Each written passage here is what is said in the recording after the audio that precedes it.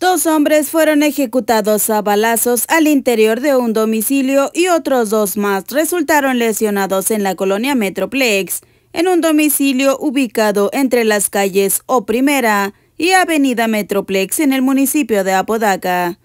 Según trascendió, los responsables habrían sido dos hombres encapuchados y vestidos completamente de negro, quienes llegaron al domicilio y comenzaron a disparar, dejando heridos de muerte a Andrés Chavarría de 63 años y otro hombre de entre 22 y 25 años que no fue identificado.